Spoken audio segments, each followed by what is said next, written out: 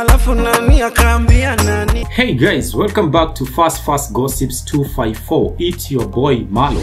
Okay, so Agriculture Cabinet Secretary Peter Munya found himself on the receiving end of the netizens' attacks after it emerged that his promise of lowering the price of maize flour was just by two Kenyan shillings. On Tuesday, Peter Munya promised to suspend levies on imported maize, which would in turn lower the price of unga.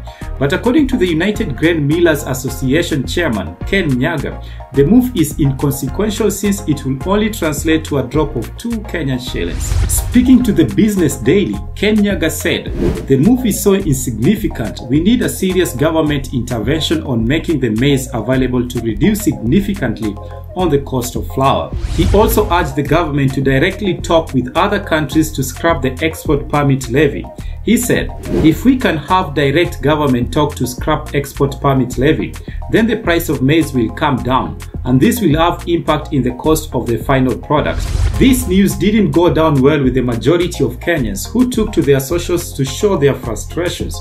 One tweet tweeted, after working tirelessly around the clock, the CS for Agriculture Peter Munya has managed to decrease the price of maize flour by a whopping 2 Kenyan shillings.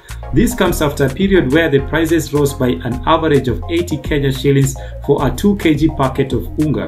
Makofi kwa mheshimiwa. Another netizen tweeted, only 2 Kenyan shillings? It's so shameful and devastating. Another Kenyan tweeted, so Mr. Tubob aka CS Munya addressed the whole nation regarding lowering unga price and then went ahead to reduce it by Tubob.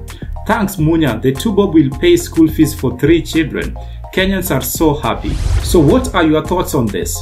Do you think Kenyans are right to attack CS Peter Munya or are they just overreacting? Let us know in the comment section below. Give this video a big thumbs up, subscribe if you haven't already and we will talk soon. Bye.